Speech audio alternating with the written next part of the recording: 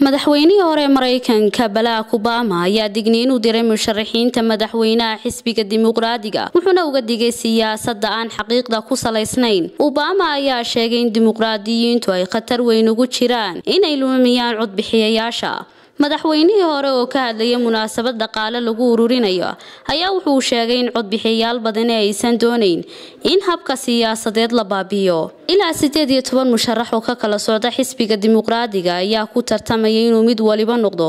Musharaxa xisbiga matalaya doorashada labada kun iyo labaatanka dalka maraykanka obama ayaa intii uu ka hadlayay munaasabadda carabaabin musharax khaasa sidoo kalena ma uusan dhaleecaynin siyaasi gooniya. Taasi beddelkeeda waxa uu isticmaalayay erayo uu ku boorinayo dimuqraadiyiinta oo dhan oo ay ka mid yihiin. Tiro gaara u yeelo codbixiyayaasha adigoo diiradda saaraya arrimaha la xidhiidha daryeelka caafimaadka iyo soo galootiga obama oo aqalka cad ka arrimanayay intii u dhexaysay labadii kun iyo sagaalkii. Ilaa labadii kun iyo toddobiyo tobankii ayaa sheegay in dalka uusan u baahnayn balse uu u baahan yahay horumarinta shacabka ay danaynayaan.